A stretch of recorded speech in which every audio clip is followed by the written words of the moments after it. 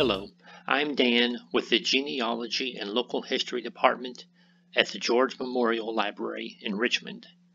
Today I will be going over a few of the more advanced things you can do in the Family Search database. The database is free for anyone to use. You'll just need a username and password to access some of the records. This database is operated by the Church of Jesus Christ of Latter-day Saints, more commonly known as the Mormon Church.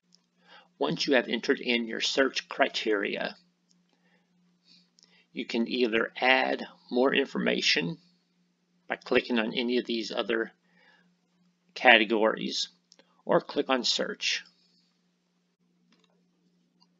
After you enter in a search, over to the far right, of the results list, you'll see several icons. And these just give you a little more information about the record.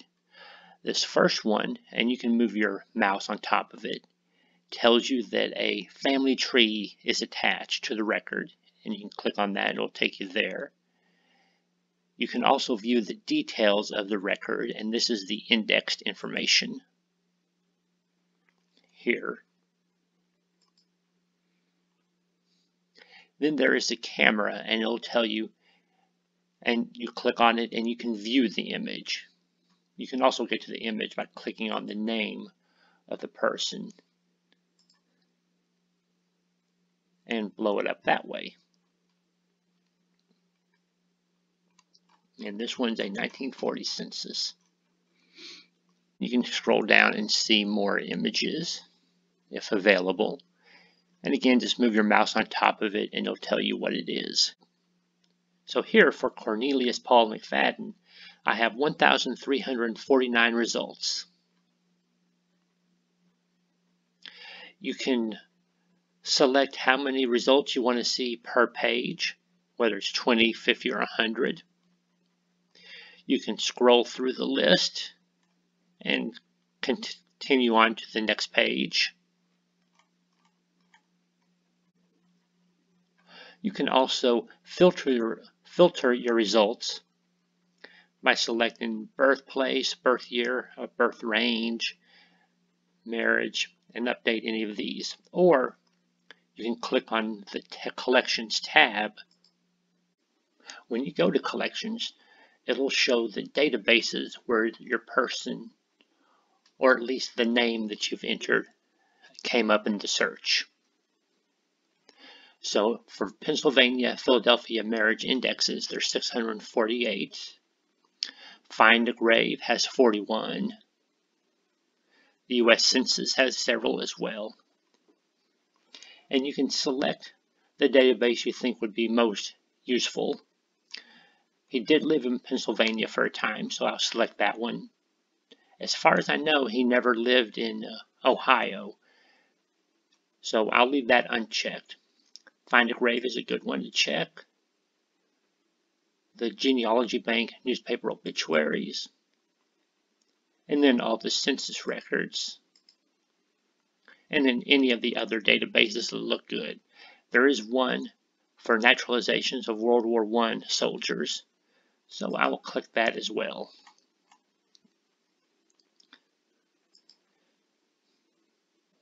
Okay, then filter the results and now you have six collections selected. And you can browse through the list. And you see now there's 740 results. Of course, a lot of the names are not quite going to match, but you can go through the list and see if any of them are the one you're looking for. If you decide some of the collections aren't providing useful information, you can get rid of them by unchecking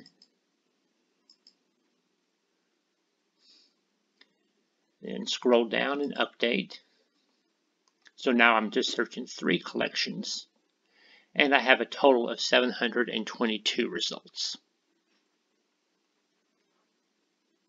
Another way to search is by location. You can click on the part of the world you want to search. So I'll pick the US and then go to Arkansas.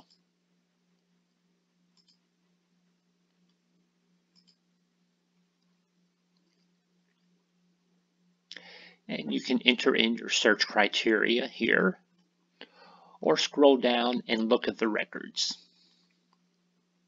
Click on Show All 96 and you can see the various records that are available to search.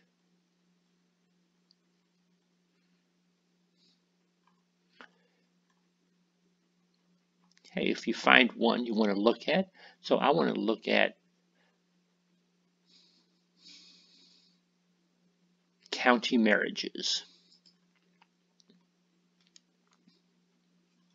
Now here you can enter in the name you're interested in.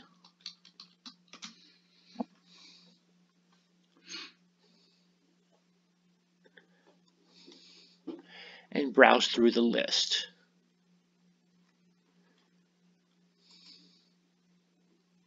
And the camera indicates that there is an image of the file or document.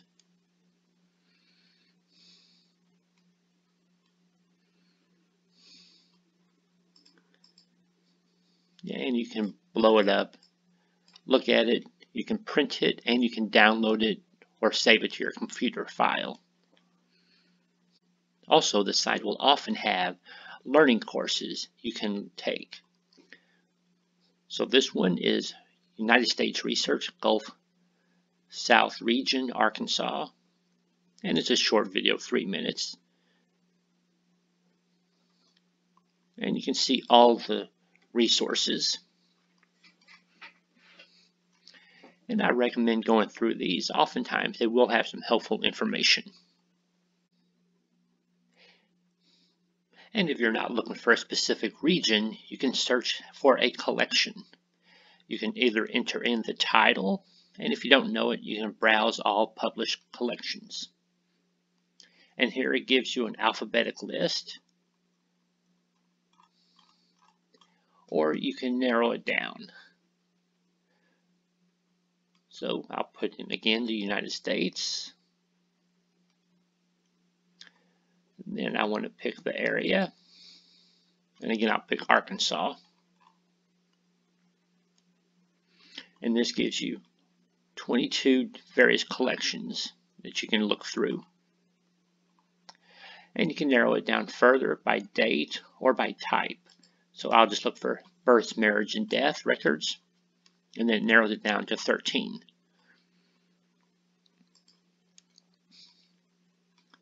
And again, it's the similar setup. You can enter in a name and other information, or you can browse through the images.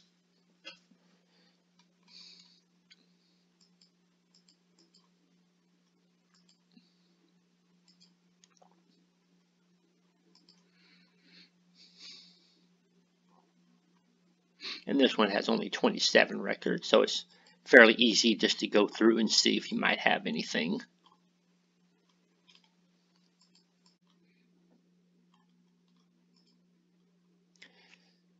And Family Search has a lot of records on its site that have not been indexed yet. That means if you enter in the search criteria, the record will not pull up. So you can go to search and click on images and enter in the location you're looking for. So I will go to Pope County, Arkansas, and then search image group. And here are the types of records that are available. So I will click on probate record. And it pulls it up. So you can browse through it click on the first page and see what information is there.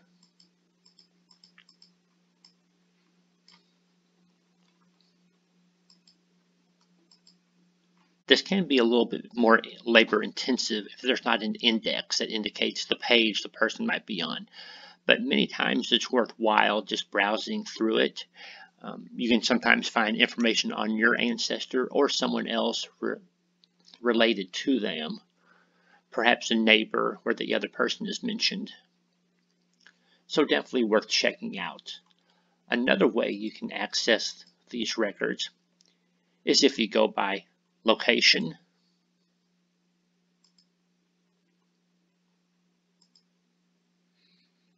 And scroll down and search image only historical records and you can browse through them. And again, Arkansas probate records.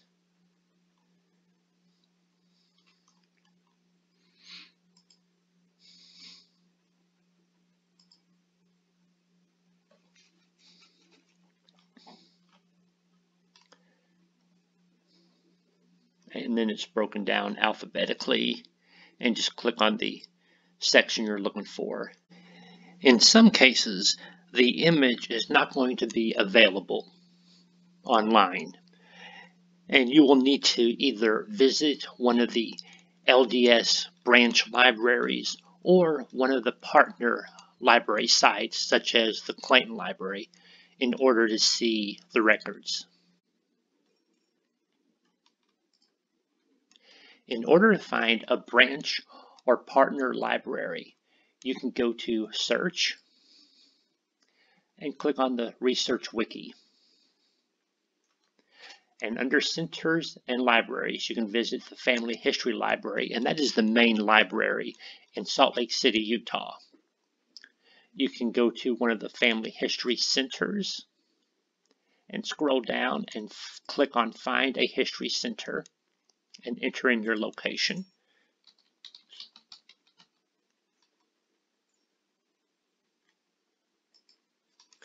And then it pulls up the center closest to you.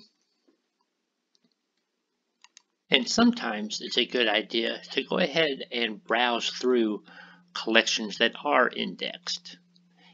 Here I am in Ohio records, and I scroll down to the census and I'm going to click on 1880 because I have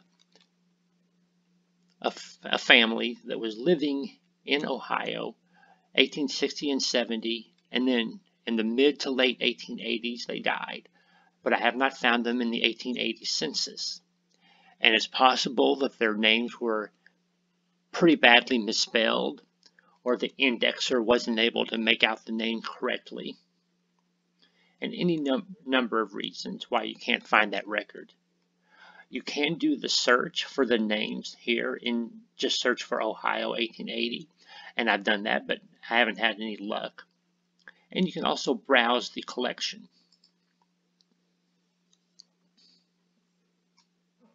So from here you pick the states and then you can pick the county So they were living, last time I saw, in Vinton County and then in Clinton Township. At least according to the 1860 and 70 census. It gives you the enumeration district.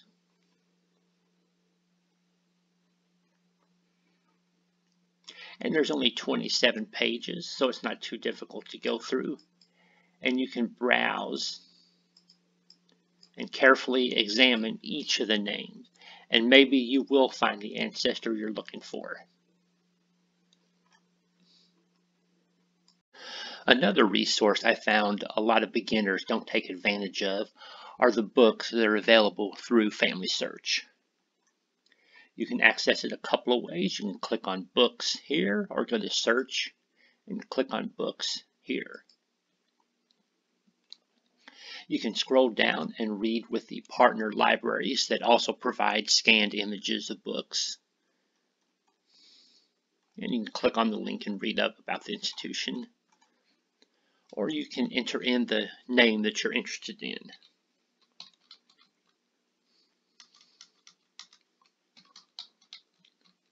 So I'll put in Cornelius Autry.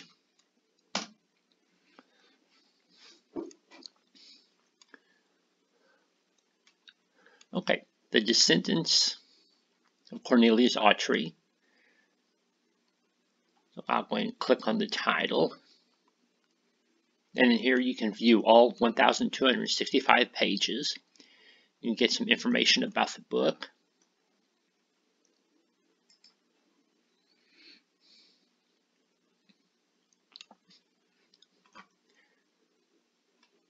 And there are several different ways you can search. You can click on thumbnails and it will give you images of the pages. You can click on facing pages so it's a little bit larger.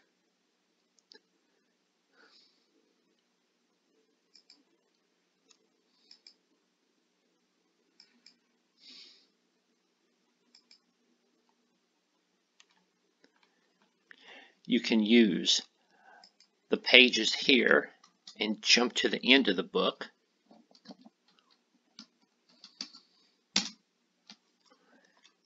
And this one does fortunately provide an index. You can blow it up and go through the name list. Or you can click on the magnifying glass and search for a name. So I'm going to enter in a name, Dicey Wallace. And of course, Dicey is spelled different ways depending on the records. So I can I could leave that out or try various different spellings. It can take a while to search because it is a large document. So I got 69 results, so that's not too bad. So I'll go ahead and just browse through the list.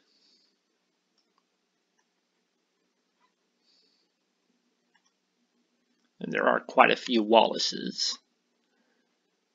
Okay, here's the one I'm looking for. So John Mabie Autry and Dionysi Dicey Wallace. So I'll click on that and it'll take me to the page.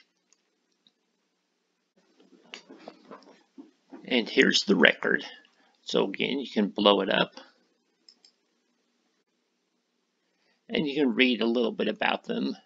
Children, she's where she is buried. A little bit about the people, and their descendants.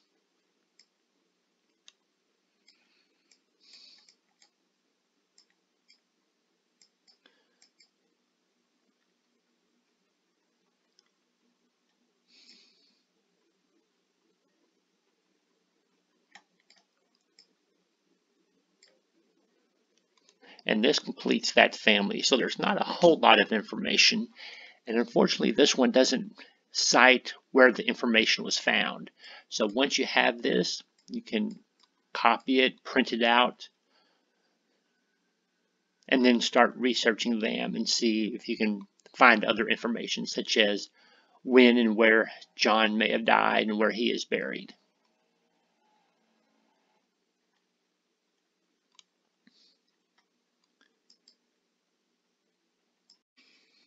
Due to copyright, not all of the books on here are going to be available for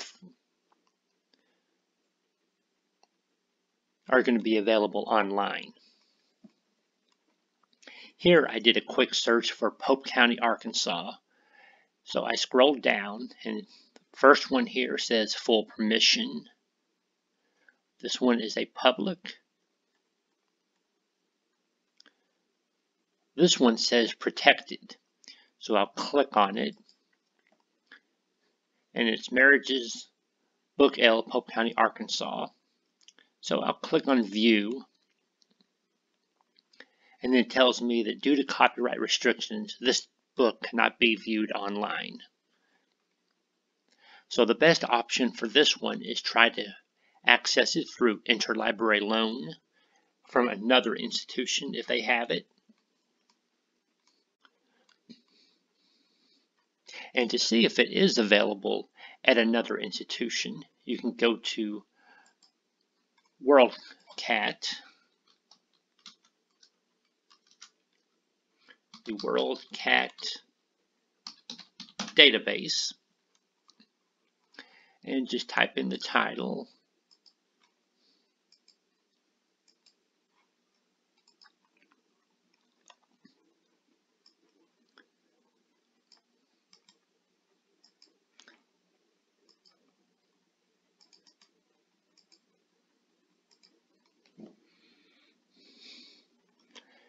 Okay, and here's the list of it.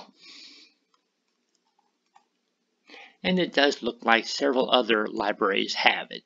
So if you're not near any of these, you could go to your local library, fill out an interlibrary loan request, and and see if they will loan the book. In some cases, libraries won't loan books like this because they're rare or maybe old and not in the best shape. So you can request the pages or the name of someone you're searching for and possibly they will make a copy and send you that instead.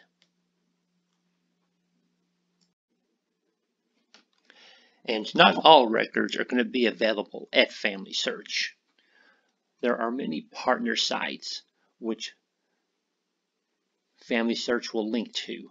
Some are paid sites like Ancestry, Fold3. Others are going to be free sites, um, various courthouses, um, other libraries. And the way to find those is to do your search.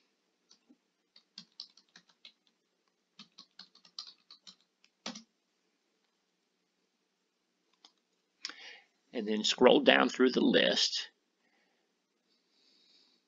and when you see an image like this, it indicates that it is at a partner site. This one happens to be Find a Grave, and again, that is a free site. And this one here says it's West Virginia Births, so I'll click on the name. And the image says to view these images, go here to West Virginia Culture Site,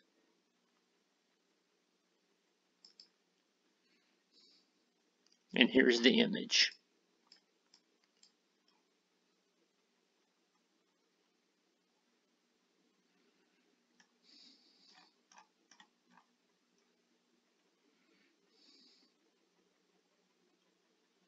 And to view the data associated with this, you can click here, and then it'll break it down. You'll see here we're at the West Virginia Department of Arts, Culture, and History.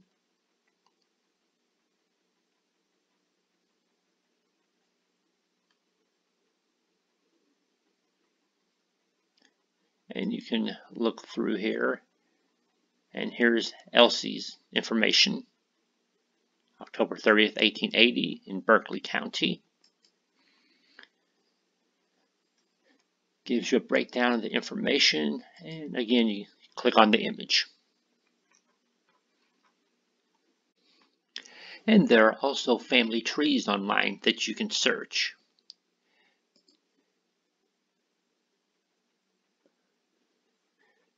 You can enter in the name.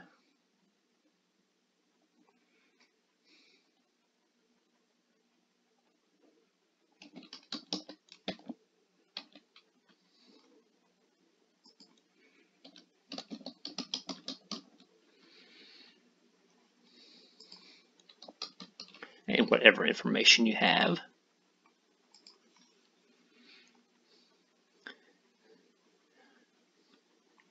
Click on the person you think you're interested in looking at, and you can view the person and break down their information.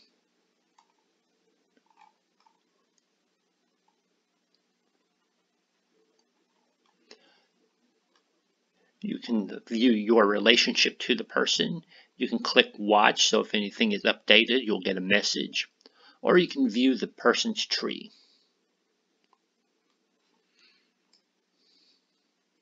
Okay, so here she is, Clara Madeline. And again, it breaks down the information. And this one has five sources. Unfortunately, not all of them are going to have sources, or some of the sources are just going to link to other people's trees. So you have to be careful with this. So here it looks like there's quite a bit of information. U.S. Census, Ohio births. So these look reliable.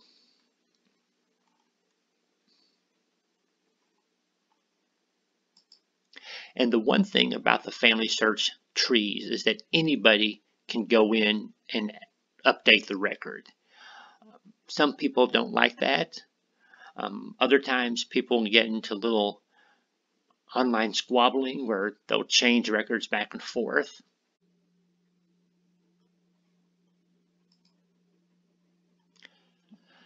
The names I add to my tree are usually brick wall people. Either people that I'm looking for more information on or haven't been able to verify through the historical record. Although a lot of times, many of the names I'm looking into are already added to the tree, but they're just kind of floating out there, not attached to anything. So I hope I can eventually verify and be able to merge those two records.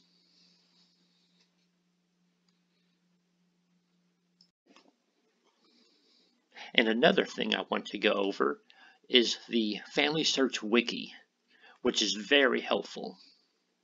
And I encourage everybody to, when they're getting started, especially with a new region or area, um, to take a look at it.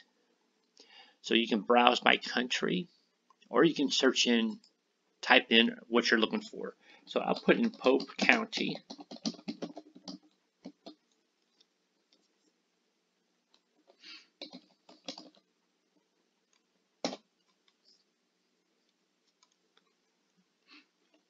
Okay, so it came up with Pope County, Arkansas. So I'll click on the name and it gives you a description of the county, some general information, when records start, birth in 1914, marriage 1831. And of course, it tells you that there's limited compliance until the 1920s. So if you do have something that early, you may not have much luck finding anything. Boundary changes, cities, townships, a timeline. So it will save you a lot if you look on here and see what records are available before you start going to libraries and looking for the information. Sometimes you might be searching another database, such as in this case Ancestry.com or you may come across a notation for an FHL film number. This refers to the Family History Library film number. And in this case on Ancestry, there's no image available. And I'm searching in the Ohio Births and Christening Index for Clara J. Schildauer. So with a number, I just go back to the Family History Library, scroll down and click on Film Number, and enter that number. Then the record shows up. You can browse through the list and see if you can find the name. This one's kind of long, so I'm going to add the name I'm searching for.